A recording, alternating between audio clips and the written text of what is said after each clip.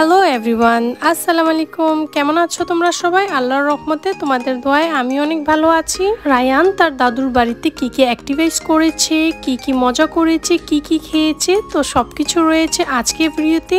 I hope তোমাদের কাছে ভালো লাগবে। তো চলো দেরি না করে ভিডিওতে যাওয়া হোক। ফুল ফ্যামিলি মিলে ঈদ করার জন্য চলে গিয়েছিলাম গ্রামে রায়ুর দাদির বাড়িতে। তো ওইখানে গিয়ে রায়ান অনেকটাই হ্যাপি হয়ে গিয়েছে তার দাদুকে পেয়ে, তার ফুপি জানদেরকে পেয়ে। অ্যাকচুয়ালি আমরা গ্রামে গিয়েছিলাম রায়ুর দাদুর সাথে মিলে সবাই ঈদ করব বাট ঈদে এত বৃষ্টি হয়েছে যে ঈদের কোনো ক্লিপই আমি নিতে পারিনি কারণ বৃষ্টি ছিল প্লাস লোডশেডিং ছিল প্রচুর। তো সে কারণে আমি ঈদের কোনো ভিডিও ক্লিপ নিতে পারিনি। তো এগুলো সব ঈদের পরদিন থেকে স্টার্ট করেছি ভিডিও করার, যেহেতু বৃষ্টি তেমনটা ছিল না। তো ফার্স্টে তোমরা দেখতে পাচ্ছ রায়ানকে নিয়ে এখানে চলে আসলাম। গাছ থেকে কাঁঠাল কাটার জন্য তার দাদির খুব ইচ্ছা ছিল যে রায়ান এসে গাছ থেকে কাঁঠাল দেখবে অ্যান্ড কেটে নিবে। তো তার দাদি, তার ফুপিজান সবাই চলে আসছে গাছ থেকে কাঁঠাল কাট করার পর দেখো আমরা সবাই মিলে কাঁঠাল খেয়েছি। কাঁঠাল খাওয়ার পর রায়ু কত এনার্জি ফুল হয়ে একদম নেমে গিয়েছে যে খেলাধুলা করার জন্য।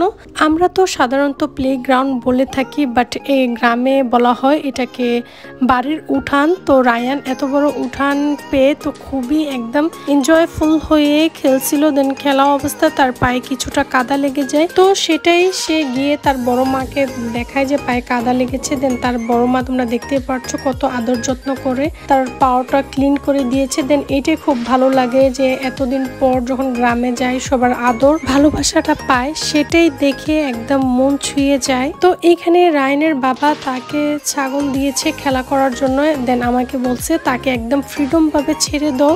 সে যেভাবে খেলতে চায়, সে খেলুক, তাকে একদমই বাধা দেওয়া যাবে না। যেহেতু শহরে সে এই অ্যাক্টিভিটিসগুলি সে করতে পারে না, তো এখানে তাকে একদমই বাধা দেওয়া যাবে না। তো ইতিমধ্যে সে খেলা অবস্থায় চলে আসছে। বৃষ্টি আবারও, তো বৃষ্টি শেষ হওয়ার পরে দেন আমি আবারও চলে আসছি বাইরে। তো দেখতে পাচ্ছ এখানে বাইরের ভিউটা এন্ড দেখো আমার শ্বশুর বাড়িতে সব ধরনের প্রায় ফল গাছ আছে।